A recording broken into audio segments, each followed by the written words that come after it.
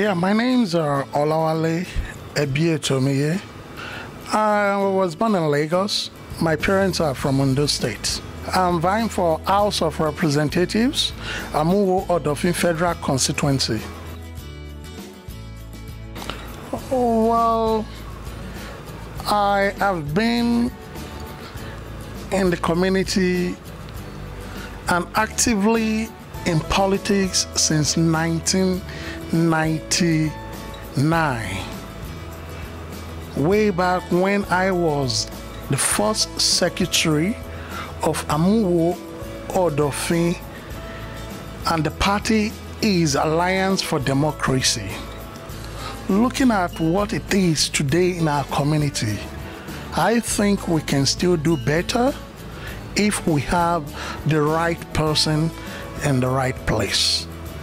And uh, also because the main purpose of politics, I think it is developing your community and also helping your people. Well, the people of Amuwo Odofin need someone who can actually give them a quality representation in the Green Chamber, and which I think I will give them such good representatives that they're looking for. Firstly, I am going to look into education. Just like what Mandela used to say, he said, if you want to develop a nation, give them education. If you want to destroy a nation, don't educate them.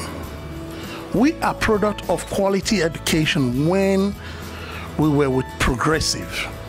I have seen quality education, but the kind of education we're having now, it's it's nothing to write home all about. I think it is paramount that we look into our educational sector and see how we can help our people to develop that sector and to take it to the standard where our education should be. And another thing is, we have to look into the youth of the community. The youth are also the tools to the drive of any country economy. If our youth are not being used the proper way, the economy of the country can't move forward. We need to make sure we give them the right tools for them to drive the economy of this country forward. And thirdly, I'm going to look into the security aspect of this nation. Our community needed to be secured. When we move into Mile 2 estates, Amuwo Odofin low-cost housing estates, there are some days that we don't even lock our doors. When you wake up in the morning, your parent will say, Guys, you guys didn't lock the door. Because we felt that community because we felt that togetherness. But looking at what it is today, you can you can even if you barricade your house, the security is not even guaranteed. We all know that it is God that secure. But a nation needed a security, a place where our life and our property could be equally secured.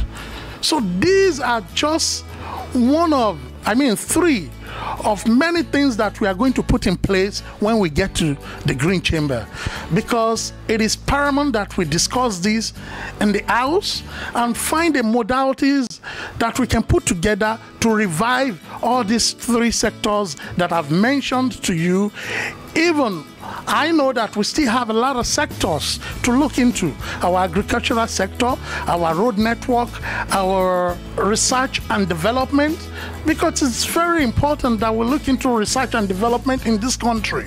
We need to look into research and development in terms of ed sector.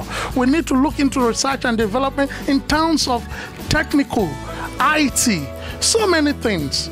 So there are a lot of things to discuss in order to move this country forward and in order to bring the federal government to our community and out of in local government.